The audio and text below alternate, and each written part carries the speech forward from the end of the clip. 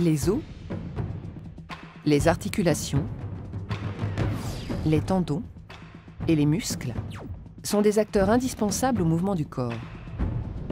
Les muscles reliés au squelette sont appelés muscles striés squelettiques.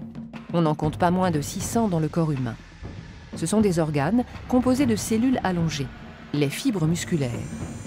Ces fibres sont groupées en faisceaux. Chaque fibre possède plusieurs noyaux et des molécules qui forment des stries dans leur cytoplasme.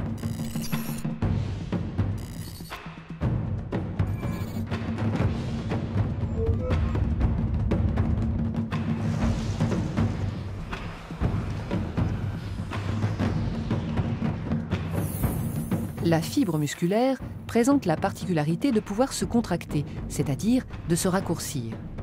Un raccourcissement des fibres à l'échelle cellulaire en provoque un au niveau du faisceau de fibres qui lui-même entraîne un raccourcissement à l'échelle de l'organe.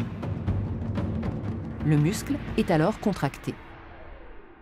Le taux de raccourcissement des fibres et le nombre de faisceaux de fibres impliqués dans la contraction conditionnent la force développée par le muscle.